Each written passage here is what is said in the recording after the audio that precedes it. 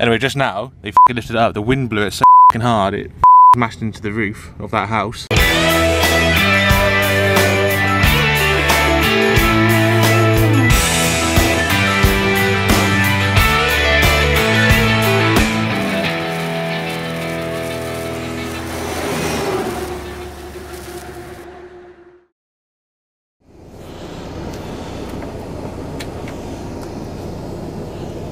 Good morning, everybody. Welcome to my channel. My name is Luke. Thanks for watching. um, today's Friday, and I am in the yard just doing all my daily checks, getting everything turned on, slash charged up. My, uh, I got a new tablet. Don't know if I've mentioned yet. Um, so I just need to charge that up. So that's one thing that I'm doing now. Um, I also still need to do my daily checks well, I've done the daily checks, just need to fill it in. Um, my dash cam needs to be turned on. Let's turn that on now. That's not the one that you see, the one that uh, records all the time. Right, so let's do the daily check paperwork. Yeah, so thank you very much everyone for uh, tuning in today. Um, we should have three jobs to do today. And we'll just have a look. Oh, this needs charging as well.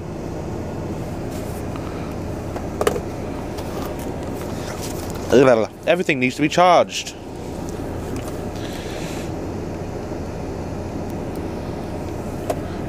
Yeah, charging, charging. Right, yeah, today we're supposed to be going to a place called Groove, or Grove, however you pronounce it. Then we've got to go Moreton on the Marsh, and then we've got an Eysey to Reading, which uh, we'd never got around to doing yesterday. Get my phone out, my pocket. There we go. Right, so it's the 24th today, 24th of February. Du -du -du. Put the reg in. My name is Luke.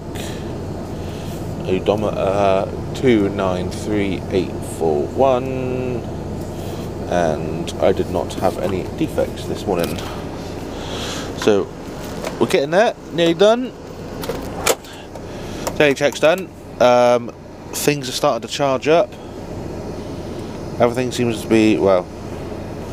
They're still on zero percent, but yeah, everything seems to be on its way to working. Let's put that up there for now. My um, dash at the moment is quite messy. There's loads of cables all over the place. God, and even, I even need to charge you up. We've only got two batteries. For fuck's sake. Got to charge everything up, man. Right. so I charge some of this shit up, and then I'll be charging the GoPro up. I do have a backup, obviously. That one there. How much has this got? But that's got a full battery, so I'll just use that if need be. Right, uh, so we need to go across the road now get to get loaded. We're supposed to be there at quarter past eight. It's a very late start today. It's just gone eight o'clock now. So um, in a second I'll go over there. My card's been in for ten minutes. Um, and then uh, we get loaded. We're supposed to be going to where did I say? Oh. No. We're supposed to be going to Groove. G R O V E. Grove. We'll find out, won't we? Hello, everybody. So we're well on our way. We're um, we're nearly here. Navigate these roundabouts. At the moment, we're in a town called Wantage, or village. Not really sure what it is. Uh, we've been to Wantage loads of times. I think actually we're going to pass a school that we uh, did a playground for not too long ago. Uh, but we're actually going to a place called Groove or Grove, um, and we've got to go to Station Road, which I think is the road linking that village to this village or town, whatever this is.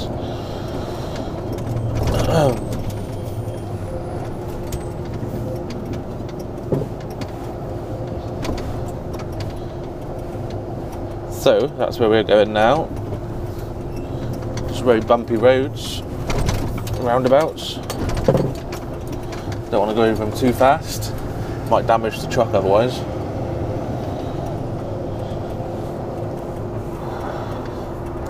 I need my sunglasses because it's bright out, but if I got my sunglasses on, I can't see the sat nav very well.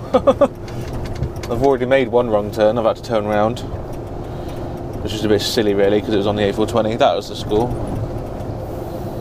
So we tarmac that.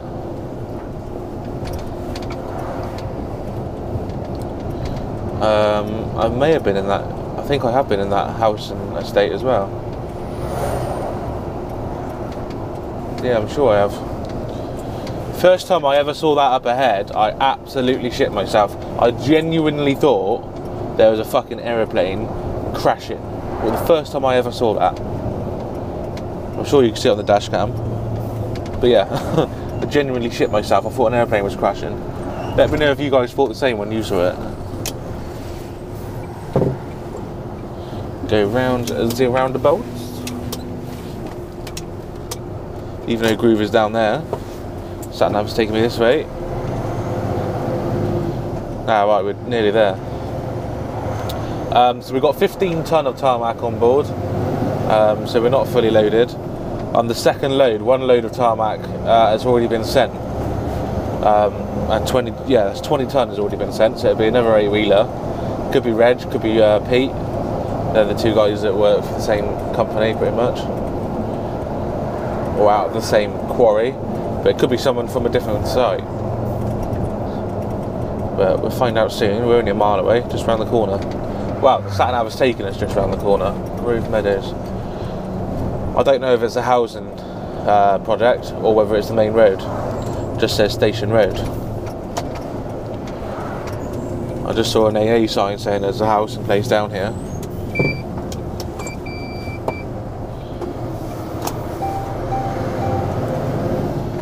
So what we'll be looking for in a second is anything to give us an indication that we're in the right place. Be it housing estates on the left or right, or, road closed signs, or roadworks, anything like that. That is what we're now on the lookout for. This is a main road.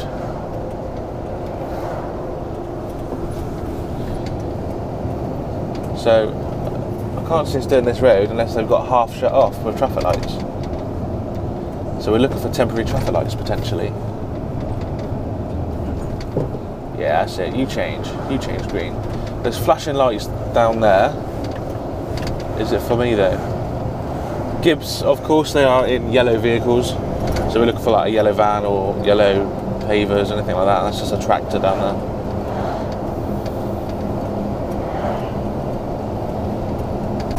Um, I did look at the map and there's a roundabout at the end of the road as well.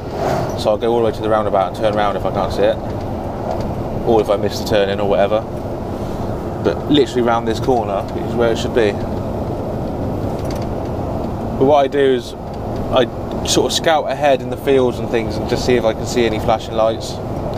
See if I can see any new builds being erected, any cranes, anything like that. Just to give me a bit of an indication that I'm in the right area. Can I see anything around here? Nothing around here yet.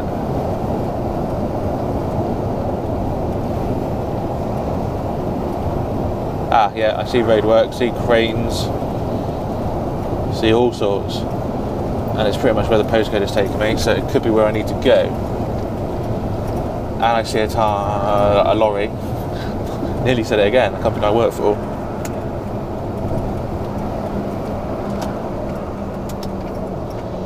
Now, how do I get in?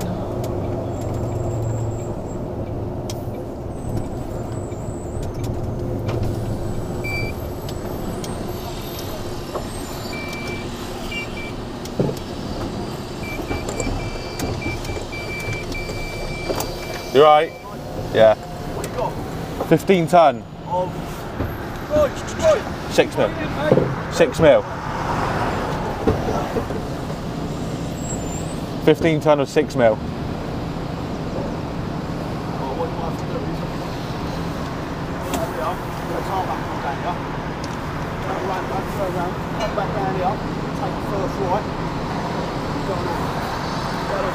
Yeah. Keep going on, take another right, it's like a little built up area. Keep going down the road, left, right, and there's a um, back of the farmer's right here. Back right, there, yeah? What through there? Bring it down right in the back of the side, bring it back in the side that way, yeah? So, you've got go back down there, yeah? Take a right, and that little roundabout down there. Keep going straight on, yeah?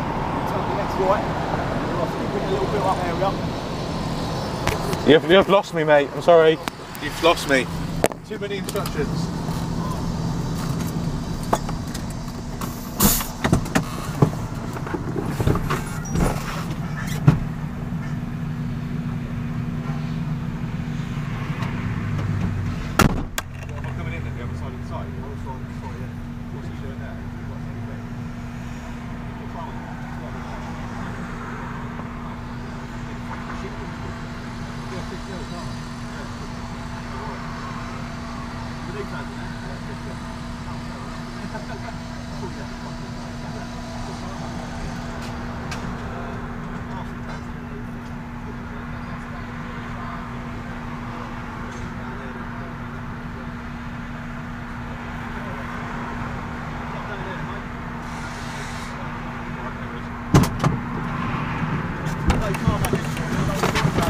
What's that? Hey, Tom, it hits the wall. We don't want about it.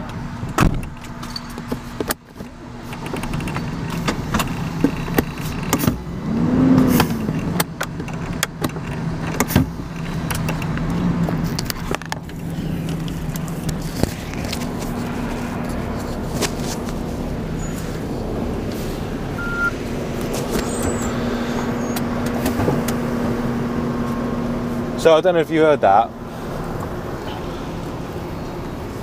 I suppose I'm I'm sort of to blame. I come in, he, he said, "What have I got?" I said, "15 ton," which is what I've got. Assuming he knew I got tarmac, and he goes, "Of what?" Again, assuming he knew tarmac, I said six mil because that's what we got. We got six mil tarmac. He's giving me all these fucking instructions to go round the fucking corners and go round there and all round there, and I couldn't understand what he was saying. Go right, go left, then straight on, then go right. Go down a country lane. He was going. I was like, well, what for? So I got out of the cab and I was like, why do I need to go down there? I'm here. He goes, and I pointed to the other lorry. I said, well, why is he here then? Because he's got tarmac. I was like, well, so have I. so, miscommunication there. Never mind. So I'm just going to stop here. Looks like we've got to do this bit as well in a sec. I'm sure I'm going to have to move out of the way in a moment. But, um, yeah, well, at least we're here. Um, see, this is called Bellway Homes. You can see on the left, potentially, maybe, it says Bellway Grove Meadows. My paperwork don't say anything about it being a housing estate. Don't say anything about being Bellway. Doesn't say anything about the name of the site, obviously Grove Meadows. Just says The Grove. But fortunately, the postcode brought me straight here. But we do have it quite often where the postcode takes you down the fucking end of the road and you might have two or three or fucking how many building sites, and you don't know which one you need to be in. But um, yeah, anyway, we're here now, so that's what matters. All that matters. Right, so um, I'll see you in a bit. I don't know if you, well, you probably can't see now, but behind the paver, there's like a triangle thing that that crane is lifting up. Don't know if you can quite see. Anyway, just now, they fucking lifted it up. The wind blew it so fucking hard, it fucking smashed into the roof of that house. And fucking, I don't know if you can see, but it, it's broke the roof. There's a bit of wood broken on the roof, there is. I was walking down there, and I was like, fuck, that wind's blowing that fucking thing like shit. It's too windy to lift that up, lads. Jesus. Nowhere near as bad as it was yesterday, like, but... Fucking hell, someone's head could have got taken off of that crane driver couldn't do anything up, but lift it up even higher. Couldn't put it down because it was blowing like shit. If the, if the wind really wanted to, that could have blowed it towards my lorry. Fuck. Right, so we just did a little bit, but now um, I've got to come off and turn around and go back where I just was. If I can get out. Need to U-turn.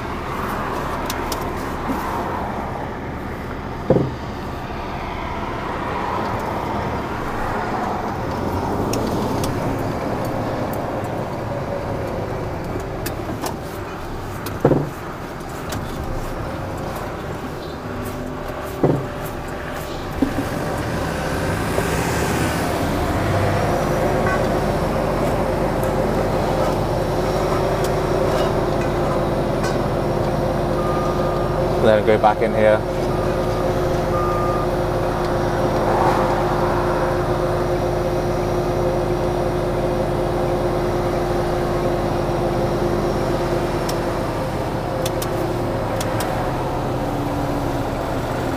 Like so. Apparently they got because obviously it's uh, all pedestrianised, so um, pedestrians can walk past. But there's no pedestrian access from down there, so I think they've got to lay all the stuff so the pedestrians can get through. So I could be here a little bit longer. So we're still here on this same site. We've moved to a different location. We lit like before. I was just behind. Just moved to a different location and facing a different way. We got here at 20 past nine. It's now nearly 20 past 11, um, and I've just had a second tip.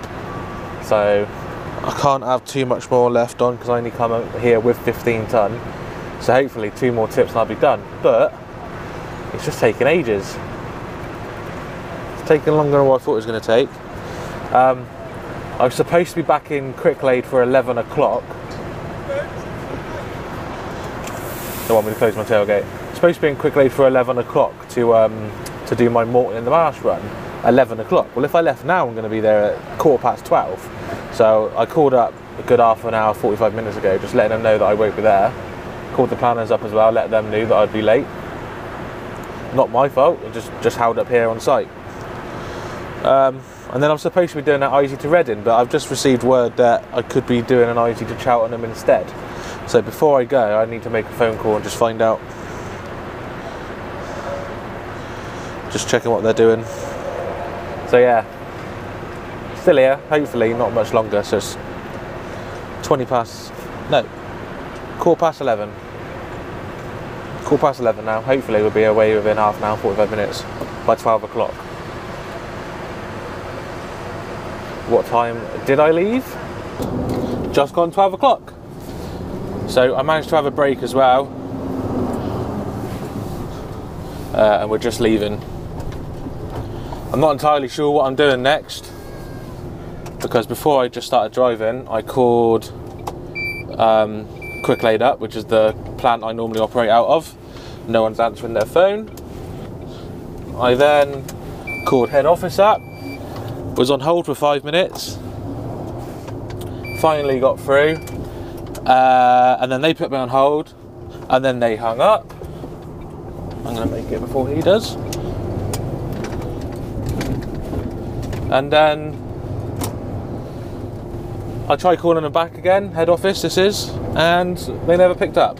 So I was on phone, I was on hold, waiting for another five minutes, and they never picked up. So I mean, I've spent 15 minutes trying to make phone calls, um, and I haven't really been given an answer on where I'm going. So I'm just going to keep to my text, my schedule, uh, which is quarter to one, pick up at uh, Eysey Manor and go to Reading. So if I leave now, I'm going to get there for about half past one hopefully just before half past one so I can get loaded before their break. Which is another thing. They tell me to get to Eysey for quarter to um, for yeah for quarter to two, but they're on break between half one and two o'clock. So they're telling me to get there when they're on break. Don't make sense. So never mind. We're on our way to Eysey Manor now, and then we're going to go to Reading. Funny thing is, if they call me, I can't answer because uh, company procedures are that you're not allowed to use your phone while you're driving, not even hands free. So I won't be answering the phone while I'm on my way there. I'll have to stop and call them back if I can stop. So yeah, never mind. We're gonna go to uh, to Eysey. So where I've just been, that was uh, called the Groove. I got there for about 20 past 11, I think the time was when I got there and um, by the time I left, uh, by the time I finished there, it was like half past eleven. But then I had a half an hour break. Pardon me. So now I hopefully I can drive for the rest of the day. I'm a little bit annoyed with my internet at the moment at home. I haven't. I well, I think I've mentioned it briefly.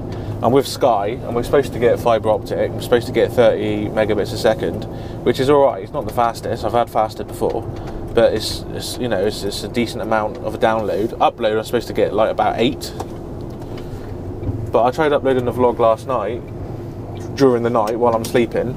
Woke up this morning and it was only on 15%. It's only a half an hour vlog. It took all night to get up to 15%. So I cancelled it this morning and re-uploaded it. And um, my my girlfriend messaged me an, an hour ago or so, and it was at uh, 15% again. So I seriously need to sort my internet out with Sky. I'll be giving them a call later. I've already plugged all the cables in, make sure they're in correctly. I've even bought a new ADSL filter. Um, the laptop is slow on the internet, both wired and wireless. And I'm never more than sort of 20 feet away when I'm wireless. Got a 4 bar signal. Just the internet download and upload speed is absolutely appalling at the moment, and it's not what we were promised. So I'll be having words with them later. There's an aeroplane again. This is where I saw it from last time, coming from this way. I genuinely thought that motherfucking aeroplane was crashing into the road. Honestly. Scared the shit out of me when I first saw it. Anyway, um, we're going to go to Wisey, get loaded, and then we're going to go to Reading. Right, we're just leaving now.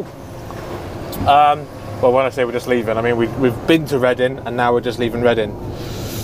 Of course, because it's um, because it's the company I work for, or on behalf of, I'm not allowed to film in the site. So I couldn't film it there, unfortunately. But never mind, that's just done for the day. We're on our way back to the yard now. Should be there for about 20 to 4. Um, by the time I fill out a fuel, park up, do some paperwork, it's going to be about it's going to be about four o'clock. So nice, nice early finish again. Seem to have a lot of them. Not that I'm moaning. Um, so when I finish work today, I actually need to go and get a uh, a new house phone. Let him go first.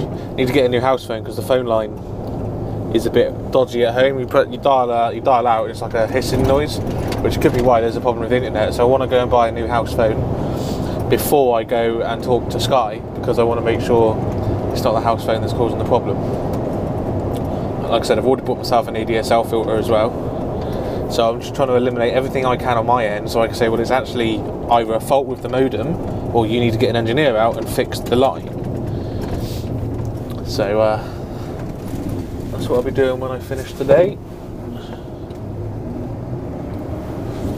Like I said, the lorry does need to have a wash as well. I mentioned it yesterday. I might come in over the weekend to do it.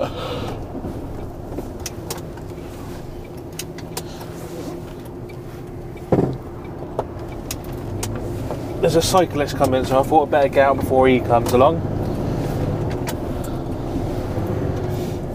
If I waited another five, six seconds, he's still not crossed that junction yet.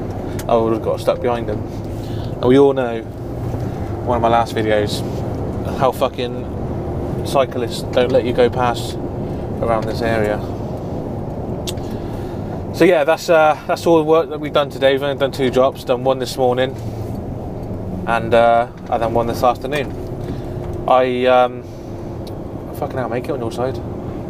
I um, when I got loaded at Eysey Manor, but before I before I drove to Eysey Manor, I made a phone call and I asked or tried to find out what it is I needed to, to, to do next. I, I told you about it before we left, or as we were leaving, uh, and I was on the phone for about five minutes before I managed to get through. Managed to get through to him, and I said, "Did you want me to go do my red and run?" They said, "Yes." I said, "Okay, cool. Are you sure?" Because I was supposed to go to Quick Cricklade for eleven o'clock, but if I leave now, I'll be there at one o'clock because I was three hours late. They said, oh, "Okay, we'll give Cricklade a call quickly. Make sure there's no other work that needs to be done." Then the phone hung up, so I called them back. Um, I was on the phone again for another five minutes on hold and they didn't answer, so I hung up. I was like, well, I'm not waiting any longer. Add that with the fact that I've been trying to phone Cricklade prior before that for about five, ten minutes. For about 15, 20 minutes, I was on the phone trying to find out what to do next. I didn't get anywhere, and because company procedure says you're not allowed to drive uh, or even have your key in your ignition while on the phone, even hands free, I decided to just go to Eysey and do the Reading. A, because it's what my text has asked me to do, and B, because when I said to them, Do you want me to go to Reading? they said yes. So I went to Reading to get loaded. Now I got loaded, got back on the weighbridge, and Lynn on the weighbridge said that the head office had called her, asked if I was there. She said yes, and they then asked her to get me to tip off what I had and go to Cheltenham instead. But apparently Lynn said no, he's loaded now, so he's not tipping. But it's a fucking. I tried to find out what they want me to do, and they leave it to the last possible minute. They want me to go somewhere else, but they leave it too late. If they called me back while I was driving to Eysey, which by the way takes an hour, they've got me on tracker, they know I'm on the move, they had an hour to call me, I could have stopped somewhere and given them a call back, but they never did. So I took it to go to Reading. So I'm not in trouble, I haven't done anything wrong, I've done what my text has asked me to do. But um, it just frustrates me that I do what's asked of me and then like they change their mind and want you to do something else, but then it's too late because you're already loaded. Pain in the ass. And the company I work for, and I'm not I'm not slagging the company off. I, I love working. I love this job. I love my jobs to bits. But they are getting quite nicky picky now on uh, on lateness and even earliness. Like I was supposed to be loaded for this run to go to Reading. I was supposed to be loaded at quarter to two. I already said, which is a bit silly because it's when they're on their break. I got there at quarter past one, so I was half an hour earlier. But Lynn on the weighbridge, bless her, she has to write down why I'm early. Like, why the fuck does it matter? Do you know what I mean? Like, I'm early, that's a good thing. But no, she asked me why I'm early, so I said, well, I was held up on the first job, so I was late for the second job. Second job was given someone else, so I've come to do my third job. I said, half an hour early ain't really bad though, is it? And then at Reading just now, matey boy's uh, he's in dying need for the sand. He said, we need more. I said, it was a good job I was early then. But, silly. Some of you know who I work for. And they do, they do have a reputation for being very hot on health and safety. And they are getting quite nitpicky. But I still love my job. I love it. And someone actually asked me the other day, do I still enjoy my job? And the answer is yes. If I didn't enjoy my job, I wouldn't be doing it. I've learned from experience if I'm not happy with something, do something to get out of it. Worked in retail for fucking four years, five years, worked my way up to become a team leader. Loved the job, but it just got to me. You either got moaned at by customers because you're trying to sell them add ons, or moaned at by your managers because you didn't sell them the add ons. and you always get the grumpy bastard that comes in saying it's your fault that they've been missold something or it's your fault that you don't know something about a product they want to know about. So I woke up one morning and I was like, no, fuck that, I'm not doing it anymore. I quit and I didn't give any notice, I just left. And I know it was a bit of a cuntish thing to do, but it's just how I felt. I felt like I better leave on my terms before I got fired. That's how I felt. So that's what I did. I left. Got a job working for a uh, my, uh, for, for a logistic company uh, working in the warehouse during the nights. Again, it was an alright job. It was not the best job I've ever had. Got on with the people there. Very cold. It was during the winter. It was during like uh, Nova, uh, October, November, December sort of time, and January. Working seven o'clock at night to about seven o'clock in the morning. It was raining. It was snowing. It was gale force winds. It was a nightmare. What's this red car doing? Oh my god. Do you see that?